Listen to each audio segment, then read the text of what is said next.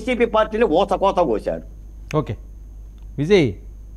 Sir good evening అండి. బోరుగడ్డ గురించి మీకు బాగా తెలిసేమో కదా మీ ప్రాంతమేనా? అవునండి గుంటూరే. ఏంటండి ఆయన ఏం చేస్తుండేవారు ఏంటి? గతంలో ఏమైనా కేసులు అవి ఉన్నాయా మీ స్టేషన్లోని?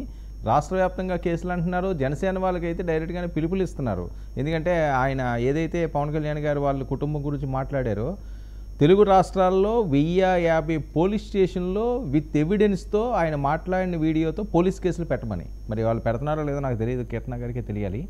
ఓకే మీరు కంటిన్యూ చేయండి. సార్ ఇప్పుడు ఇతను గతంలో కూడా ఏఎల్సి ఆస్తులకు సంబంధించిన దాంట్లో కూడా అనేకమైనటువంటి అక్రమాల్లో పాల్గొన్నాడు. ఇతను గతం నుంచే కూడా ఇటువంటి చిల్లర పనులు చేస్తూ గుంటూరు నగరంలో సహజంగా అంటే నేను లండన్ వెళ్ళి వచ్చారంగా లండన్ వెళ్ళి రాగానే చాలా ఉన్నతమైన చదువులు చదువుకొని చాలా గౌరవంగా ఉంటారనుకుంటారు. కానీ ఇతను ఆ స్థాయిలో కాకుండా బాగా అంటే ఎంత నీచంగా ఒక వ్యక్తి ఉండకూడదు అంత నీచంగా అతను బిహేవ్ చేస్తూ ఉండేవాడు. రమణ దీక్షితులు గారు ఉన్నారు కదండి. ఆయన ఇష్యూలో ఫస్ట్ మనకి హైదరాబాద్లో ప్రెస్ క్లబ్లో ఇతను దర్శనం ఇచ్చాడు ఆయన వెనకాల. అక్కడ అక్కడ మొదలైన తర్వాత ఆ తర్వాత తర్వాత చిన్నగా తొండ ము- ముదిరి ఓసరవెల్లి అయినట్టు ఎప్పుడైతే జగన్మోహన్ రెడ్డి గారు ముఖ్యమంత్రి అయ్యారో అప్పటి నుంచి కూడా ప్రతిపక్ష పార్టీ నాయకుల్ని లేదు ప్రతిపక్ష పార్టీకి సంబంధించిన ఎవరైనా సరే ఆ, ప్రభుత్వాలు ఆ రోజునటువంటి వైసీపీ ప్రభుత్వాన్ని వ్యతిరేకించిన చట్ట వ్యతిరేక కార్యక్రమాల మీద గలమెత్తిన వాళ్ళందరూ కూడా ఫోన్ చేసి బెదిరించడమా తిట్టడమా అనేక రకాలైనటువంటి దూషణలు చేసేవాళ్ళు. కేవలం నాయకులైనా వాళ్ళ ఇంట్లో ఉన్నటువంటి మహిళల్ని మహిళల్నే కాదు చిన్నపిల్లల్ని వృద్ధుల్ని ఎవరిని వదల్లా. అందరినీ అంటే ఇతను మా పార్టీ అని చెప్పుకోవటానికి కూడా ఈ రోజున వైసీపీ కూడా ముందుకు రావట్లేదంటే వారు పెంచి పోషించినటువంటి ఆ పాము ఎంత భయంకరమైన విషసర్పమో మనకు అర్థమవుతా ఉంది. ఇప్పుడు కొంతమంది అండి రాజకీయాలు కానీ ఇప్పుడు మనం అధికార ప్రతినిధులుగా వచ్చేది దేనికంటే మన వల్ల మన పార్టీకి మన పార్టీ వాయిస్ మనం ఈ రోజున మీడియాలో చెప్తా ఉన్నాం. చెప్పేటప్పుడు చూసే జనం కానీ ప్రేక్షకులు కానీ మీరు చెప్పే పాయింట్ సహేతుకంగా ఉంది. వినటానికి ఇది న్యాయమైనది అనిపించాలా? అంతేకాని నాకు లైకులు రావాలా షేర్లు రావాలా వ్యూస్ రావాలా అనేటువంటి ఆలోచనలో వచ్చేటువంటి పార్టీ ప్రతినిధుల వల్ల ఆ పార్టీకి నష్టం కలిగిద్ది. ఇది వైసీపీ గ్రహించలేకపోయింది. అప్పుడు గ్రహించలేకపోయింది ఇప్పుడు గ్రహించలేకపోయింది. ఇందాక సుజాత గారు చెప్తా ఉన్నారు మొత్తం గ్రాఫిక్స్ అక్కడ ఏమి లేవని.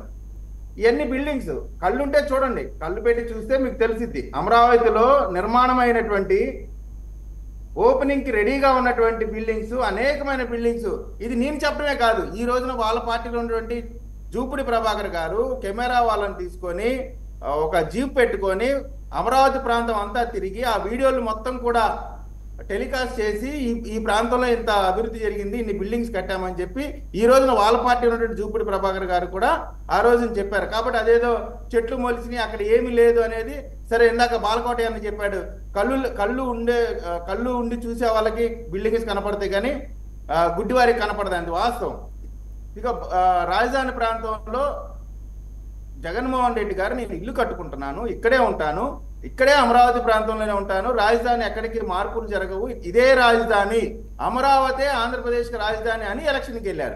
వెళ్ళిన తర్వాత మూడు రాజధానులు అన్నారు. అంటే ఆయన మాట తప్పి ప్రజల్ని మోసగించారనేటువంటిది స్పష్టంగా అర్థమైపోతా ఉంది. Okay.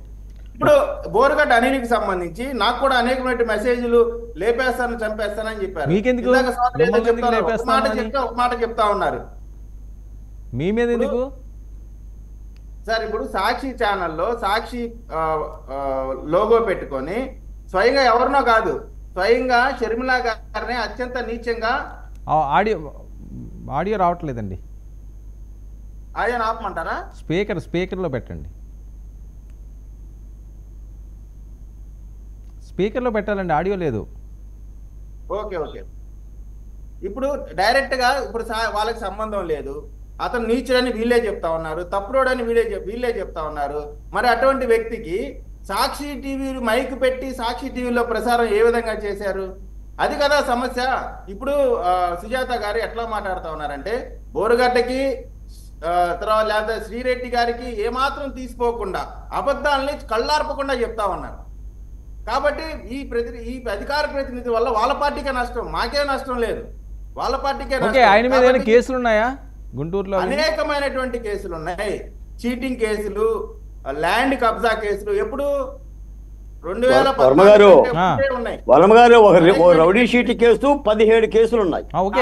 Crimes Tadikonda police station పరిధిలో ఒక ల్యాండ్ కబ్జా చేయడానికి వెళ్ళి అక్కడ మారణాయుధాలతో పాటు కారుతో పాటు దొరికాడు అప్పటి నుంచే ఇతను ఇతను హిట్ లిస్ట్లో ఉన్నాడు పోలీసులకి అనేక సో సో అంటే గత ప్రభుత్వంలో మరి ఆ కేసులు ఏవి కూడా బయటికి తోడలేదా? కేసు రిజిస్టర్ అయినాయండి. కేసు రిజిస్టర్ అయ్యి జైలుకి వెళ్ళి వచ్చాడు. కేసు రిజిస్టర్ అయ్యి జైలుకి వెళ్ళి వచ్చాడు తర్వాత వైసీపీలో యాక్టివ్గా ఉన్నారా? వైసీపీలో యాక్టివ్ కాదు. వైసీపీ పార్టీకి ఒక ఇతను ఏమంటారు ఆ, ఆత్మాహుతి దళాలు ఉంటాయి కదా. ఎవరన్నా ఏమన్నా మాట్లాడితే వాళ్ళ మీద వెళ్ళి బాంబులు వేయటం ఆ టైపు ఆ టైపు తయారయ్యాడు. ఏంటి కాదండి సుజాత గారు ఏంటి అప్రూవర్గా మారారు చాలా మంది పేర్లు తీస్తున్నారంటున్నారు నిజమా ఇది? ఇదంతా ఏవో వార్తలేనా? సరే మారాడు. ఆ, చెప్పండి చెప్పండి విజయ్ ఒక్క నిమిషం అతను అతను అప్రూవర్గా మారి మారినా మారకపోయినా ఎవరు చేపించారు ఏంటనేది స్పష్టంగా అందరికీ తెలుసు? అతను మీరు ఇంకొక విషయం చెప్తానండి. ఇంత దారుణమైనటువంటి వ్యక్తిని కూడా చట్ట ప్రకారం ప్రాసెస్ ఫాలో అయినటువంటి ప్రభుత్వం ఈ ప్రభుత్వం. ఎక్కడా కూడా ఇతని ఇతను మాట్లాడిన మాటలకి నిజంగా ఇవాళ తెలుగుదేశం పార్టీ జనసేన కార్యకర్తలు కానీ సామాన్య ప్రజలు కూడా వాళ్ళ ఆలోచన ఎలా ఉందంటే ఇతన్ని తుక్కు కింద కొట్టుకుంటూ ఎందుకు తీసుకెళ్ళేదు? ఇతని అంకుశం సినిమాలో రాజశేఖర్ ఏదైతే రామిరెడ్డిని బట్టలోడ తీసి కొట్టుకుంటూ తీసుకెళ్ళారు అటు అట్లా. తీసుకెళ్ళకుండా ఏదో కొత్త పెళ్ళి కొడుకుని తీసుకెళ్ళినట్టు తీసుకెళ్ళారనేటువంటి బాధ అందరిలో ఉంది. ఓకే. కానీ చట్టాన్ని గౌరవించి రాజ్యాంగాన్ని గౌరవించి అతను చాలా గౌరవంగా అరెస్ట్ చేసి కోర్టుకు పంపించారు. ఓకే. సుజాత గారు రెస్పాండ్ ఆ, వీళ్ళు ఏవైతే చెప్తున్నారు మాకు ఆ పా- అతనికి మా పార్టీకి సంబంధం లేదు అసలు.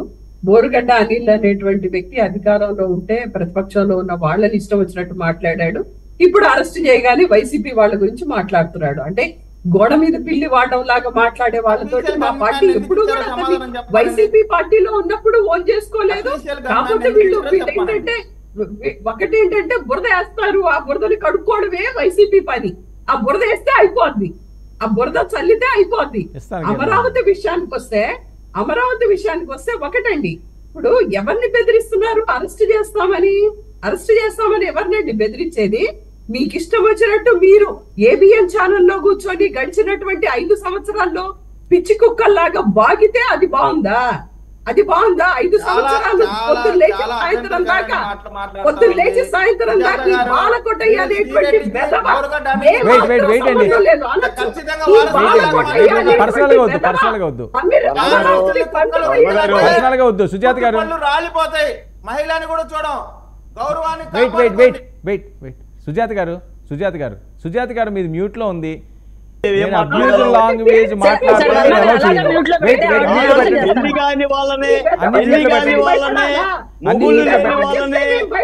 విడిచేసిన వాళ్ళనే mute mute PCR wait. Wait అండి. అందరూ మ్యూట్లో ఉన్నారు. వెయిట్. దయచేసి పర్సనల్గా వద్దు. సబ్జెక్ట్ మీద మాట్లాడితే మాత్రమే అలౌ చేస్తాను. మీరేం మాట్లాడినా ఎవరికి అర్థం కాదు.